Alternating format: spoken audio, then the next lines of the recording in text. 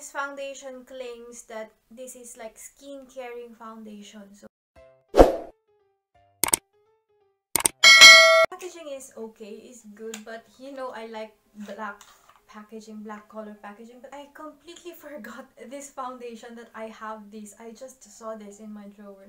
So let's try this. This is in the shade 0.5N. Based on the bottle here, it says like 24 hour wear high perfection skin caring foundation. I like the scent of this. 30 ml or 1 fluid ounce. This foundation claims that this is like skin caring foundation. So let's try it if it's true. I will use Chanel retractable foundation brush. This foundation brush is really good value for money. I know this is pricey but this is good value for money. This is really a good brush. One, two pumps. Two pumps first. So I hope guys this will remove the, oh, the, look the redness on my face.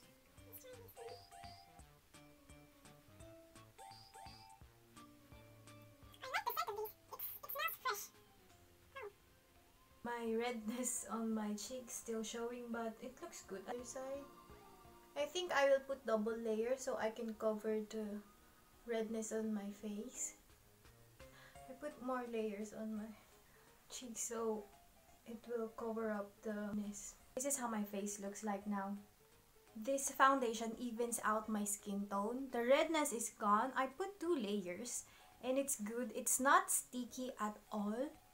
Um, if you have dry skin or normal skin, it's okay not to finish with powder but because I have oily skin I need to finish this with powder. I will finish this foundation with this Canmake powder. This is made in Japan. My sister gave this to me.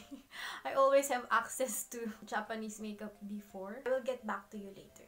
So I am back and sobrang puti ng mukha ko. Ito yung ginamit ko Pero at the same time, maglagay ako ng baby powder. Ganun kasi yung ginagawa ko madalas, baby powder, para hindi agad mag-oil up yung aking face. Uh, hindi ako nag-try ng ibang method. Time now is 3.06pm and I will get back to you later. Time now is 9:30 p.m. It's been 6 hours since I put the foundation. I went outside to the mall earlier. The longevity of this foundation will depend on your skin types. If you have normal or dry skin, this will last you the whole day.